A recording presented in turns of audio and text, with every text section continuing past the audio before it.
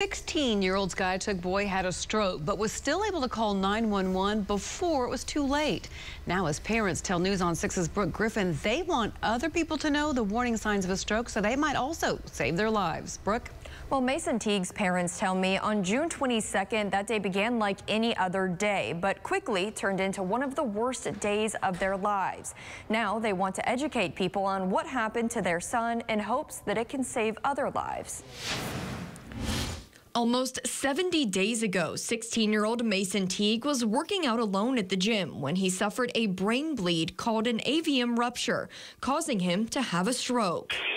911, what's the address of the emergency? Hey, I passed, I'm dying. Where are you at? Uh, the Eastside Fitness Center. Eastside Fitness Center, what's, what's going on? That 911 call was the last time Mason was able to speak. His mom, Amanda, says he was fine just 15 minutes before. The last words I heard my son say to me were, I love you, Mama. I'll see you in about an hour. Justin and Amanda tell me Mason complained of headaches the week of the rupture, but they had no idea that headache would change their lives. Since that day, his parents say he has been in and out of consciousness. He is very well aware of what is going on.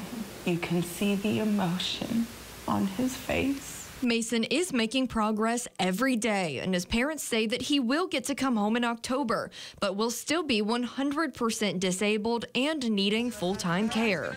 For now, they say every step forward is documented and celebrated. When, when he's done with this, we want to show him how hard he fought and how we celebrated every little accomplishment of his. Yeah.